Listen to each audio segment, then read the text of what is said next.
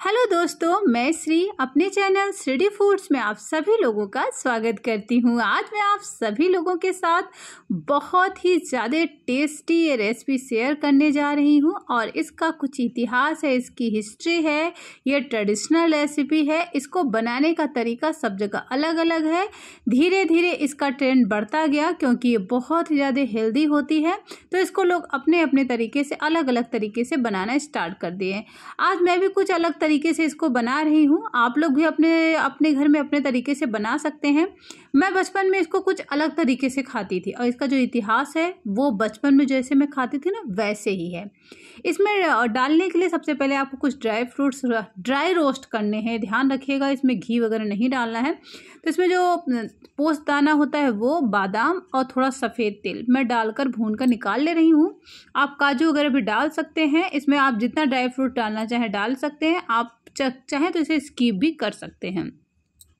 उसके बाद जब ये आपका पोस्ट दाना हल्का चटकने लगे तो इसको निकाल लीजिए और निकालने के बाद से इसी में आप मूंगफली दाना भी भून लीजिए, जो कि मैं पहले से ही भून के उसके छिलके उतार के रख चुकी हूँ। जी हाँ ये वाली जो रेसिपी है, इसमें अब मैं मूंगफली दाने का प्रयोग कर रही हूँ, क्योंकि जो जब मैं इसको खाई थी, जहाँ पे ये बनाई जाती है तो वहाँ पे मूंगफली दाना भी पड़ा था, वो मुझे बहुत ज़्यादा टेस्टी लग रहा था। तो इसलिए मैंने मूंगफली दाने का प्रयोग किया। उसके बाद से गेहूँ के आटे का प्रयोग करिए। गेहूँ के आटे के साथ साथ आप सूजी भी इसमें ऐड कर सकते हैं। थोड़ा सा चाहे तो बेसन भी ऐड कर सकते हैं। और उसके बाद से इसमें आप डाल दीजिए देसी घी, दो से तीन चम्मच। और उसके बाद इसमें थोड़ा डाल दीजिए सौंफ। और थोड़ा थोड़ा पानी डाल के इसको बहुत ही ज़्यादा टाइट आपको आटा गूँथना है। इस तरीके से कि हाथ से आप ऐसे करें तो जल्दी ये अंदर ना जाए। यानी कि बहुत ही ज़्यादा इसको टाइट आपको आटा को घूट कर इस तरीके से रेडी करना है उसके बाद इसको इस तरीके से सेप दे देना है। अब मैं आपको बचपन वाली कहानी सुनाती हूँ। बचपन में क्या होता था कि जब हमारे यहाँ बाटी बनती थी बाटी जो होती है ना उसमें वो नहीं भरा जाता सत्तू नहीं भरा जाता। वो वाली बाटी जो बनती थी। तो पापा मेरे कहते थे इसको तोड़ लो।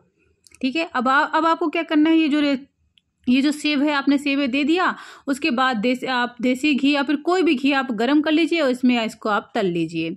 ठीक है धीरे धीरे डाल दीजिए मध्यम आँच करिए कम आँच करिए ज़्यादा आँच करिए धीरे धीरे करके इसको आप तल लीजिए। लेकिन इसको थोड़ा सा करारा तलना है आ, मतलब इसको कच्चा नहीं उतारना है इस बात का आपको ध्यान रखना है। तो बचपन में क्या होता था जब बाटी हम लोग तोड़ लेते थे तो उसमें पापा हमारे मिलाते थे घी और उसमें ऊपर से मिलाते थे गुड़। कभी कभी खांड जिसको अलग अलग जगह कहीं राप कहा जाता है, कहीं कुछ कहा जाता है, वो भी पापा मेरे डालते थे। मेन ये रेसिपी उसी तरीके से बनाई जाती है, जैसे मेरे पापा बनाते थे।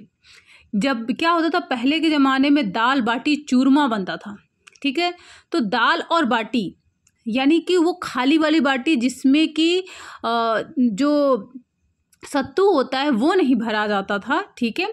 तो वो खाली वाली जो बाटी बनती थी तो एक तो होता था दाल के साथ नमकीन नमकीन उनका हो गया, जो दाल होता था, उसके साथ वो बाटी खा लेते थे, और मीठे के रूप में वो उसी बाटी को चूरा बना लेते थे। और चूरा बना के उसमें गुड़ और देसी घी डाल देते थे। और थोड़ा सा ड्राई फ्रूट्स वगैरह अगर होता था तो डाल देते थे, नहीं, ऐसे ही उस, उसी का वो लोग चूरमा बना लेते थे और उसको वो लोग मीठे के रूप में खाते थे, जैसा कि हम लोग बचपन में खाते थे। ठीक है? बड़े होने के बाद से जब मैंने अलग अलग जगह इसको देखा तो सब लोग अलग अलग तरीके से बनाना स्टार्ट कर दिए। कहें, चूरमा लड्डू है भाई ये। ठीक है? तो ये चूरमा लड्डू आज मैं भी कुछ अलग तरीके से बना रही हूँ। तो मैंने इसको क्या किया है? मैंने इसको तल लिया है। पहले मैं तोड़ने का कोशिश की, लेकिन वो बहुत गर्म था तो मैंने थोड़ा वेट किया। उसके बाद से अब हम इसे पूरा जितना हमने तला हुआ है, सब हमको तोड़ लेना है। और तोड़ के इसको फुल्ली ठंडा करना है। क्योंकि अगर आप ठंडा नहीं करेंगे तो आपका मिक्सी जार का जो ब्लेड होता है, वो टूट जाएगा। बाकी आपके मिक्सी जार के ब्रांड पर डिपेंड करता है, क्योंकि मेरा बहुत ही पुराना है तो मैं बहुत केयर करती हूँ इसको, और मुझे जिस चीज़ से प्यार हो जाता है, मैं उसको बहुत ज़्यादा केयर करके रखती हूँ, चला जाए तो अलग बात है, कोई बात नहीं, जो चला गया, वो चला गया। ठीक है, उसके बाद से इसमें हमें जो हमारा जो मूँगफली दाना है, उसको सबसे पहले हमको पीस के निकाल लेना है, उसके बाद से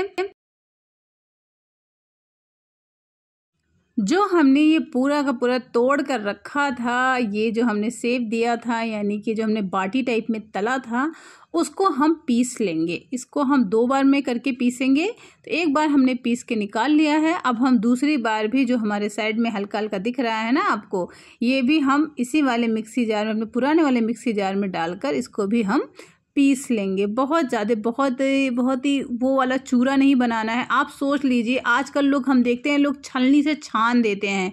आप ये सोचिए, पहले बाटी को हाथ से मसल के बनाया जाता था तो कितना कैसा होता होगा? वैसे ही होता होगा ना? तो जब आप मेन सही रूप में अगर आप चूरमा बना रहे हो ना तो आप यही वाला चूरमा बनाइए।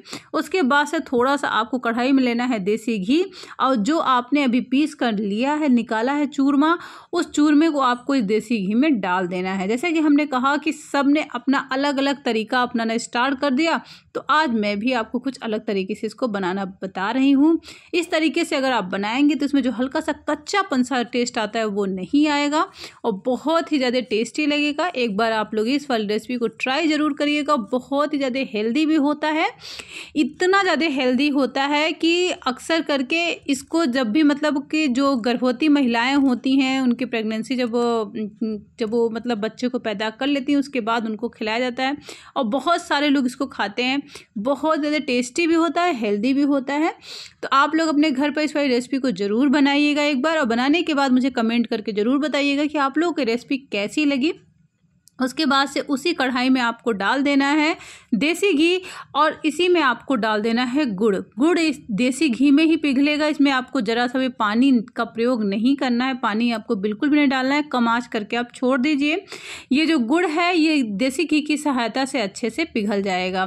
पहले जैसे कि हमने आपको बताया कि राब होता था, खाड़ होता था, गुड़ जो होता था, थोड़ा सा सॉफ्ट वाला होता था तो हाथ से ही मसल जाता था। लेकिन अब गुड़ इस तरीके से आने लगा है तो ऐसे ऐसे लोग करने लगे हैं, यानी कि गे, देसी घी में इसको पिघलाने लगे हैं।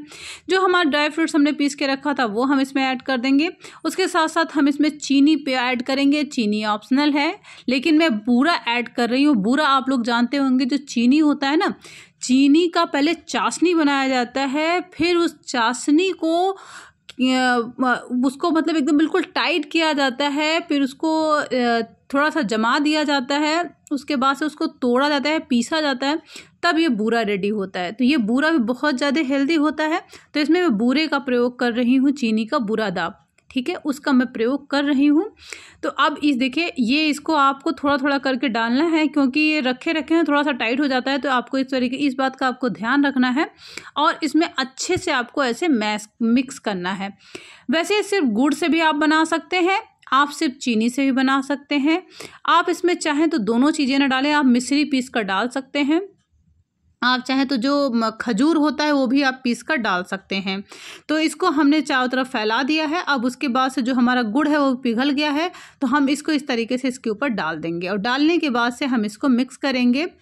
ये इसका टेस्ट बचपन में मैंने लिया था, उसके बाद से मैं एक बार गई थी द्वारिकाधीश। वहाँ पे मैं जिस जगह पे रुकी थी, वहाँ पे वो कहते ना, नारायणी आश्रम वगैरह तो इस तरीके का एक आश्रम था तो वहाँ पे मैं रुकी थी। तो वहाँ पे उन लोगों ने बनाया था तो जिस तरीके से उन्होंने बनाया था, मैं आपके साथ वही आपको तरीका शेयर कर रही हूँ आपके साथ।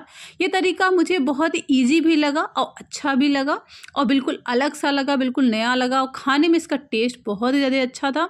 तो हमने कहा आप लोग के साथ शेयर क्यों क्यों ना किया जाए। तो देखिए, ये वाला तरीका बहुत ज़्यादा अच्छा था और इसके बाद से आपको हाथ से इस तरीके से अच्छे से इसको मिक्स करना है। ये जो देसी घी हमने गुड़ में डाला था ना, उसी की सहायता से लड्डू बन जाएगा। अगर आपको कम लगे तो आप ऊपर से लड्डू डाल सकते हैं। वैसे उन्होंने तो क्या किया था ना, कटोरी में रख के और थोड़ा सा ऐसे थोड़ा सा दबा दिया था और ऐसे ही दे दिया था उन्होंने। लड्डू वगैरह नहीं बनाया था और, बल्कि मैंने कहा, मुझे लड्डू बना के दो। तो उन्होंने बहुत ही बड़ा सा लड्डू बना के मुझे दिया था। और लेकिन मुझसे खाया नहीं गया था, पर बट अच्छा लग रहा था। उसका टेस्ट बहुत ज़्यादा अच्छा लगता है, क्योंकि ये ट्रेडिशनल रेसिपी है, हर जगह नहीं मिलती है। आप इसे एक बार अपने घर में बनाकर ट्राई ज़रूर करिएगा तो देखें हमने लड्डू बनाना स्टार्ट कर दिया है। इन लड्डू को बनाने के लिए आपको हाथ बहुत टाइट करना है। इसको हल्के हाथों से नहीं बनाना है, क्योंकि ये थोड़ा सा जितने दाने हैं, उन सभी दानों को आपको आपस में चिपकाना होता है तो हाथ को थोड़ा सा टाइट कर रखना पड़ेगा आपको। तो ये सारे सारे लड्डू देखिए हमारे बनकर रेडी हो गए हैं। आप लोग भी अपने घर पर इस रेसिपी को ज़रूर बनाइएगा और आप लोग कमेंट करके मुझे ज़रूर बताइएगा कि आप लोगों को ये चूरमा लड्डू की रेसिपी कैसी लगी और ये रेसिपी किसने, कैस, किस तरीके से बनाई है। अपना अपना तरीका भी अगर आप लोग शेयर करना चाहें तो मुझसे, मुझे कर सकते हैं। क्या आप लोगों ने इस तरीके वाले लड्डू खाए हैं? इस तरीके के चूरमा लड्डू खाए हैं? अगर खाए हैं तो उसके बारे में भी आप लोग ज़रूर बताइएगा। चलिए चलते हैं मिलते हैं आप सभी लोगों से अपने अगले वीडियो में। तब तक के लिए बाय बाय टेक केयर अपना ख्याल रखिएगा। Thanks for watching my video और बहुत बहुत धन्यवाद आप सब